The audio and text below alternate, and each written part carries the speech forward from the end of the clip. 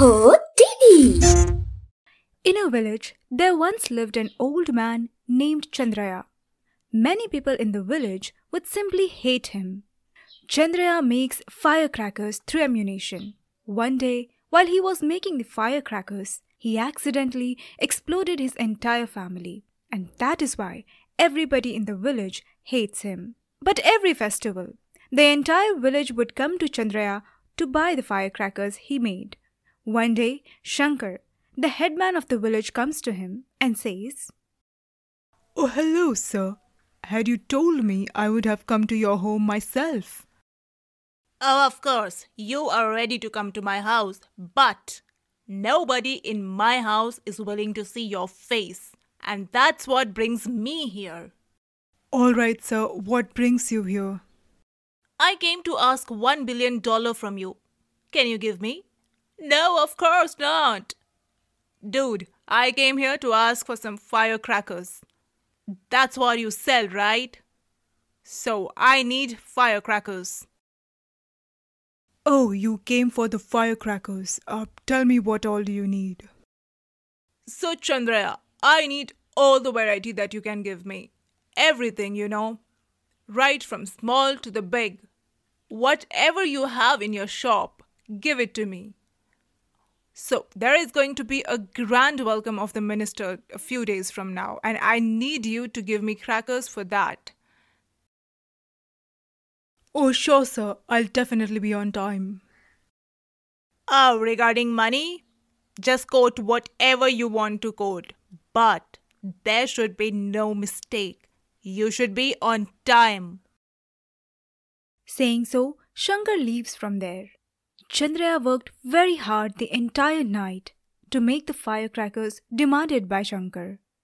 While he was making the firecrackers, he starts thinking in his head, Oh God, how badly do I miss my wife and my children. I wish they were here. They would have helped me so enthusiastically. But unfortunately, I myself took their lives. My whole family is dead. But I still can't give up making these crackers because I love doing this.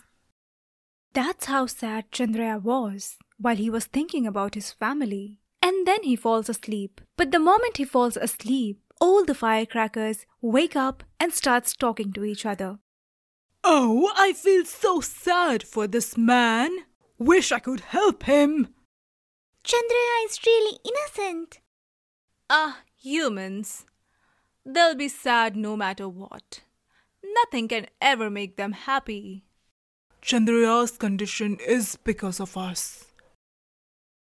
Oh, yes, but now what can we do? Can we bring back his children and his dead wife? That's right. We can't bring back his wife and children. But he loves making us. Oh no, he is not that horrible. He makes firecrackers only for Diwali. Rest of the days he's resting. A peaceful man, you see. Whatever the case may be, we all need a family to celebrate the events with. We all miss the family. That's right. We can't bring back his wife and children. But he loves making us. What do you mean? Tell us clearly. We are firecrackers. We can make people happy only for a while. But many people are actually harmed by us. Many people catch respiratory problems and start getting sick after we are burned. Elder people are having heart attacks due to us. And also the noise that we make, it really hurts birds and animals. Even humans are suffering because of us.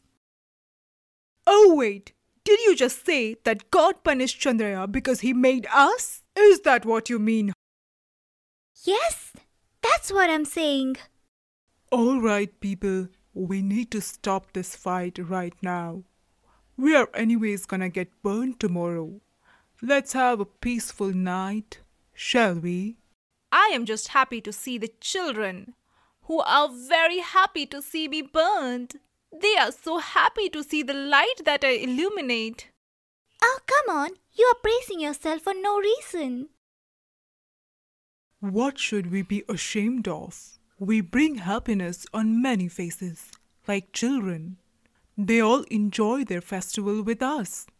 We are the most important part of their celebrations. We should take a pride in this. And the firecrackers were talking and discussing the whole night. And Chandraya wakes up early in the morning. He takes the shower and gets ready to go out. And then he ate his breakfast while looking at the photo of his wife and children since he was missing them the whole night. Then he grabs the big bag of firecrackers and leaves for Shankar's house. Oh, hello, Chandraya. You're well on time. I'm impressed. The minister is about to arrive. Ensure you burn the firecrackers well on time, okay? Yes, sir. Chandraya then starts waiting for the minister to come, holding the bag full of firecrackers. Oh, come on. You are praising yourself for no reason. He just made a very good deal. And in the evening, of course, he'll be getting chicken and beer.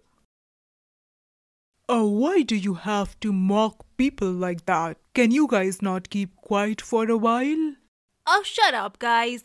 Look, minister has arrived. Woohoo! Shankar is quite happy to see the minister. But suddenly, there came two terrorists.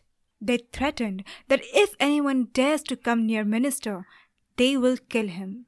That's when the firecrackers again starts discussing something. Today is the day to help Chandraya. All right, now will you please tell us clearly what you're trying to say? Please. Chandraya's entire family is dead because of us. Since that day, he is cursed in the entire village. Now let us turn Chandraya into a hero. Oh, is it? Can we even do that? Nothing is impossible if we try. Oh, please tell me how that is even possible. We are going to attack the terrorists and explode on them. The terrorists will die immediately. Our Chandraya will be hero. Then the firecrackers, without wasting a moment, exploded on the terrorists. The terrorists died on the spot. Everybody around thought that it was Chandraya's bravery. Oh, Chandraya, you have done a great service for the whole village. I am going to adopt this village now, and I will ensure that no person in this village is suffering from anything. I will build hospital, roads, schools, and everything.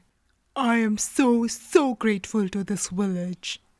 Saying that, the minister leaves from there. After that, all the people of the village were very happy with Chandraya. They honored him and were very happy with him.